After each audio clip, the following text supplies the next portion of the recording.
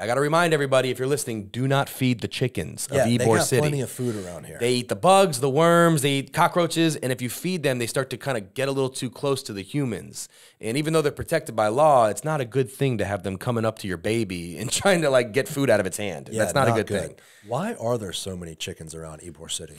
The chickens and the roosters of Ybor are descendants of the original ones that came here with the immigrants as a food source.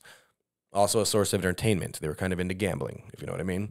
Uh, anyway, as Ybor went through its economic ups and downs, uh, people left Ybor City, as we talked about, started heading around, and you couldn't travel with a rooster under your arm. So they just opened their back gate and they were like, good luck, buddy.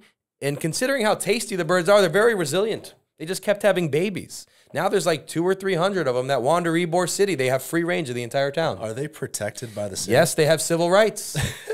if you grab one for dinner, it's like five hundred dollars. I think it's more than that now. It's like eight hundred bucks. Oh my God, protected species here. They are good-looking birds. Certainly not endangered. They're thriving. Oh, they're thriving. And I tell people all the time, you can take photos, you can take videos, but remember, they are descendants of fighting cocks. you know, like I wouldn't, I wouldn't go trying to pick one up. He might, you know, come at you if you get hey, they're close. wild, man. They got wild. Spurs. Oh, Those things yeah. are aggressive. They are- One of them chased me around a parking lot one time. telling you, they don't mess around. You, especially you go near their babies, they don't like that.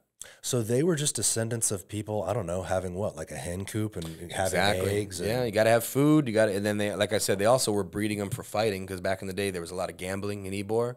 and uh, you know these champion cocks just kept having A babies. hun- and a hundred years later, they're Yep. still hanging out. These aren't your Perdue chickens that are like in a in a factory somewhere. They're good These looking like birds. Tampa Mafia chickens, man. Mm-hmm.